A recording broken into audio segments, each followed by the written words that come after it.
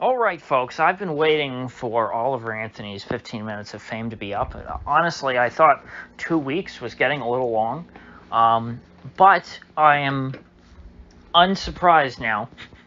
It is the weekend, and it appears that Oliver Anthony has been canceled. Okay, he's over. Um, he's no longer uh, the the hero of the far right that we were told he was for the last two weeks. I must say, I'm shocked that it has come to this. and I don't come here to like gloat or you know dance on his grave or something like that. I don't. I don't have a problem with the guy. He's fine. Um, and I, but I never talked about him specifically because everywhere else was talking about him and talking about how great he was. And I thought, you know, this is pretty boring, and they'll probably end up being disappointed since they are projecting all their feelings onto this person, um, who apparently is a hillbilly who lives in a pop up camper, which does not make him a bad person, probably just makes him a normal person. And normal people, um, they don't really have a bottomless wellspring of wisdom. And so, if he had a few wise words that resonated with people, um, the odds that he would be able to keep pumping them out for years to come were very low. But he had been put on this pedestal, and um, expectations were created uh, for him to be the next Messiah. And I have to say, the biggest red flag, the biggest indicator to me that his time, um, his days were numbered, his hours were numbered, uh, was that every day that went by in which I did not hear him endorse Mr. Trump that's the real test of a man. Does he or does he not endorse Mr. Trump for 2024? If he did endorse Mr. Trump, I would have said, you know what? Um, if his stock was publicly traded, I I would put my life savings, I would invest my life savings in this man's career. But as long as he didn't endorse Mr. Trump, I was going to short him. And I don't say that because that's how I personally feel. Um, I think that anyone who follows this channel probably has picked up on that by now. But your perception, as far as the public is concerned, as far as the people who are very much engaged with the zeitgeist, uh, with Twitter, um, people like this live and die uh, based on their loyalty to Mr. Trump. Because at the end of the day, the people don't carry don't care if you can carry a tune or not. That's not what matters to them. What matters is loyalty. And yes, I do think that the word loyalty has become the democracy of the right, just like you have the shit libs that uh, that love to talk about democracy and how voting and elections are a threat to our democracy the right thinks that um, Trump deserves loyalty from people who Trump has never interacted with, never done anything to help, um, never just I've never had a good or bad interaction with them. Just people who have nothing to do with him. Um, they're expected to be loyal to Trump. And the word loyalty, you know, it always implies some sort of uh, prior relationship. Just like, you know, democracy, the word, mm, kind of implies that there is uh, power vested in the hands of the people. but these words these days, they mean nothing. And so, when the general public hears the words from this Oliver Anthony character, and by the way, that's not even his real name, I I called that from the beginning. Um, not that I said it on this channel, but the first time I heard that, I, I said that is not a real name. Um, which, I mean, it's not a scandal. It's not like the guy was lying or something. I mean, everyone, people in music always have stage names.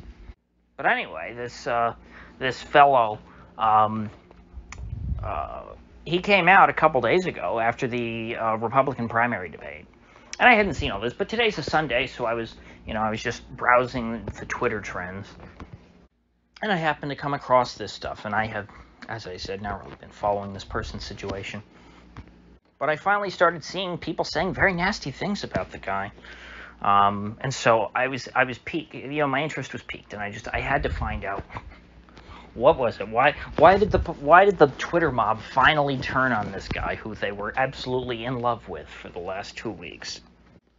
And surprisingly, it was after that moment in the Republican primary debate on Wednesday, in which uh, Fox News asked, I think it was DeSantis, uh, something about the song, which I thought was just so cringe that they inserted this guy's song into the Republican primary debate.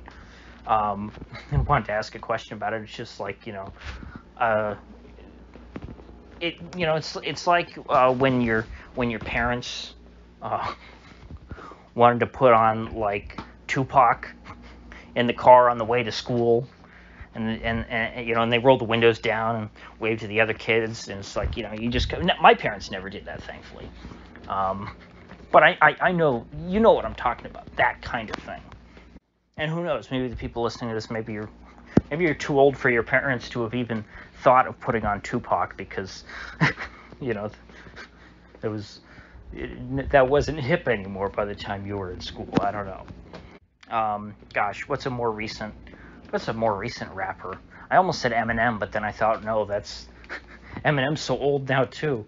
Uh, I don't know. I, I don't know modern music. Excuse me. But you get my point.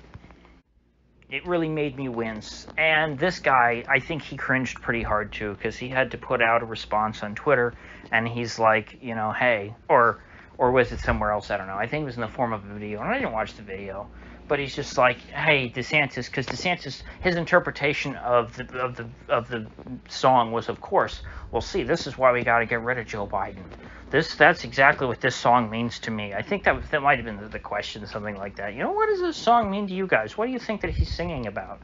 And DeSantis is like, we got to get rid of Joe Biden. We just got to do it. It's what must be done. And so, rather than just you know let the cringe go, the artist himself decided to come out, which I mean, I don't, I don't fault him for. Um, I don't think he did anything wrong. He came out and he he decided to clarify. Um, I didn't write the song about Joe Biden. I wrote it about politicians in general. I think was the, the gist of it. And so now people are very mad because he will not. Um, you know, I made it about Trump earlier. It's really not about Trump. It's about the fact that he will not specifically um, condemn Joe Biden in particular as a, as a unique evil. It's kind of like what happened um, to a lot of people on the left when Trump was president. Um, people on the left who, uh, like Jimmy Dore, for example, not Trump fans. But that didn't make them fans of Nancy Pelosi either.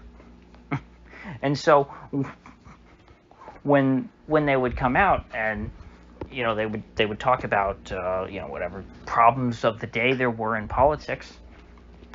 Jimmy Dore would come out and say something that he didn't like about Trump, and he'd go, "But I don't like you Democrats either." And when people on the left do that, does that, the the right really likes it. But when someone that uh, they perceive to be on their side to begin with, like this uh, country music singer fellow, um, they get very upset when they do that. They get very upset that this guy says, you know, no, I actually, I don't like Republicans either. You know, now he, that guy's the devil. He's a traitor.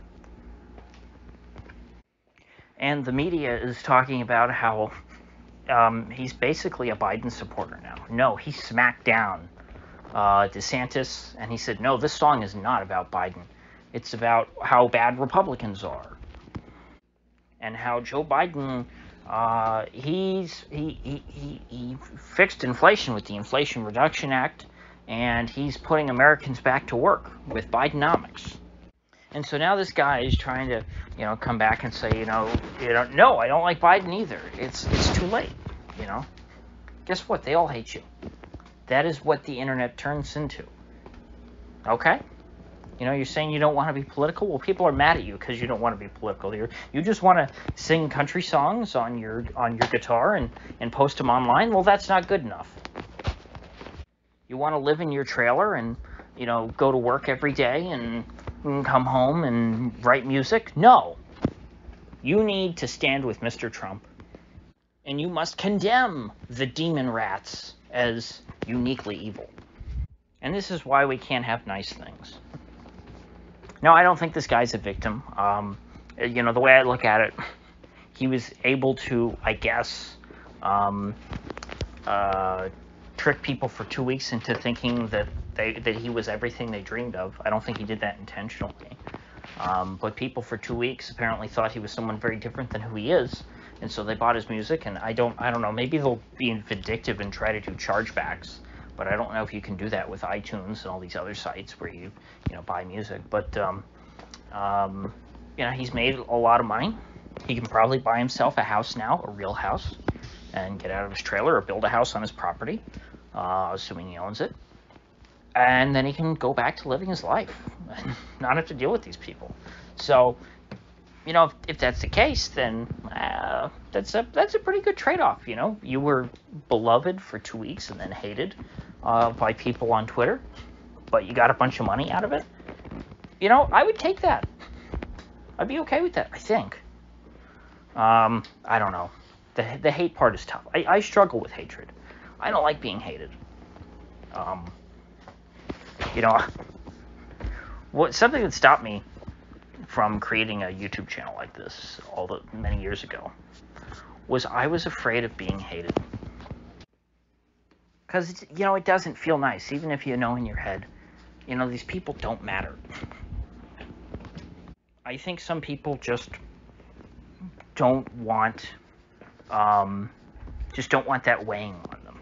You know, because you, you got enough to worry about with just normal life stuff. You don't need random death threats on the internet. But if the random death threats were accompanied by tens of thousands of dollars per day over the course of two weeks, ah, I think I could learn to live with it. The question is, how, how does this follow him throughout the rest of his life? You know, is this guy's life going to be destroyed? Is he going to be fired from his job um, that he does have? Um, actually, I don't know. I don't know much about him. I don't know what his job is. Um, but assuming he can hold down some kind of job and just go back to living his normal life with all this extra money. Ah, yeah. So his his his period of fame is over. His music sales will probably not fall off a cliff well, no, it probably will in relative terms, but he'll still be able to sell some music. He's not going to be a, a number. He's not, you know, going to be the number one recording artist, you know, moving forward as he has been in the past two weeks.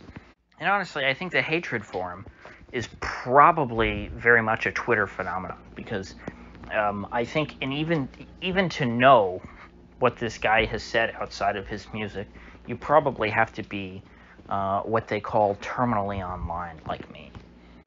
That is, unless you follow the mainstream media, which I think has been running with the story for the last couple of days. Um, something to the extent of Oliver Anthony endorses Joe Biden and and wrecks Ron DeSantis. So I don't expect to talk about this fellow again. Um, so with that said, uh, I will see you folks back here tomorrow.